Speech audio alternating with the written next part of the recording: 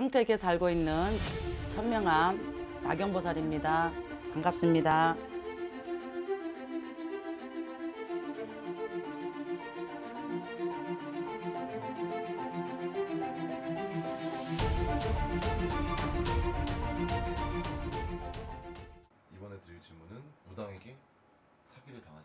음, 알려드릴게요.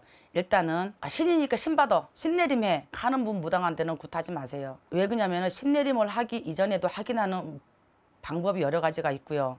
삼재가 걸려서 보살집에 점을 보러 갔는데 불사항아리를 모시라고 하는 분도 없지 않아 있고요. 협박성을 얘기를 해서 구슬하라는 사람 그렇게 하는 사람한테는 구슬하지 마시고요. 그 다음에 신도 아닌데 이 길을 가기는 어려우니 불사항아리를 모셔라 할아버지 상자를 모셔라 무조건 그렇게 모시는 것도 아니고요. 그렇게 얘기하는 분들한테는 조금의 의심을 가지고 가십시오. 많은 금전 너무나 큰 금전 그리고 구슬했는데 며칠 안 돼서 어디가 또 어떻게 또 어디가 맥혔으니 어디를 풀어야 된다 또 굿하자 하는 분들한테 굿하지 마십시오. 일반인 사람한테 사기를 해서 구슬 안 해먹었어요. 네. 저는 하늘, 하늘에 맹세고 그런 일 없습니다. 네. 근데 일반인이 여기로 와서 무당을 사기를 치려고 합디다. 그런 분이 있습니다. 아, 아주 뭐 아주 뭐 없는 거짓 서류를 가지고 은행에 뭐 금전이 얼마가 있다 내가 선생님 이 금전 빌려주시면 언제까지 갚겠다는 등 오히려 그러- 일반인들이 와서 그렇죠. 치네요. 그렇죠. 그런 예, 그런 분들 많습니다. 그리고요, 네. 이굿 해주시면요, 언제쯤이 은행에서 내가 뭐 어디에서 얼마가 이렇게 나오니까 미리 좀 융통을 해서 해주십시오. 안 하죠.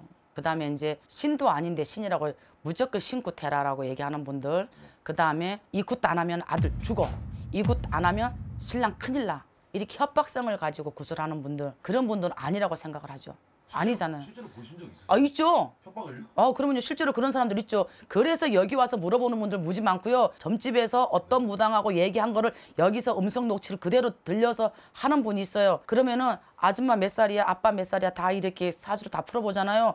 전혀 이쪽하고는 전혀 관여가 없고요. 그리고 올 수전에 이렇게 사고 수도 없고 그런 수전이 없어요. 그러면은 저는 여기 그 자리에 앉아가지고 신엄마한테 연락을 한다거나 또 같이 일을 하시는 또 이렇게 선생님이 있어요. 그분 앞에서 스피커폰으로 이 사람 올해 운수 좀 봐주세요. 나 이렇게 말을 해요. 직접으로 가야죠. 왜? 그 사람은 어디 가서 협박성에 말을 듣고 왔으니까 얼마나 심장이 벌렁벌렁거려 그죠?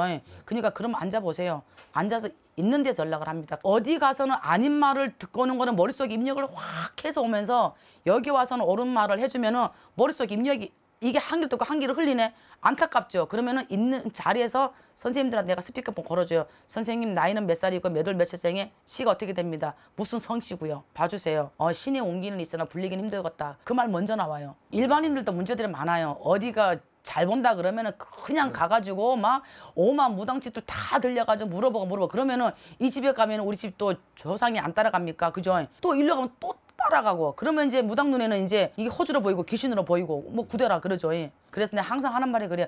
일년에 한두 번씩은 가는 건 괜찮다. 일년에 한 번은 이제 신수 보러 가고 그다음에 무언가를 알고자 무언가를 해결하고자 무언가를 얻고자 할 때게 어느 길로 가야 할지 모를 시에는 한 번쯤은 가서 물어봐라. 그거 괜찮잖아요. 그죠. 그죠? 예. 나쁘지 어. 않은 거니까. 그럼요. 좋은 의도로. 아, 그러면요.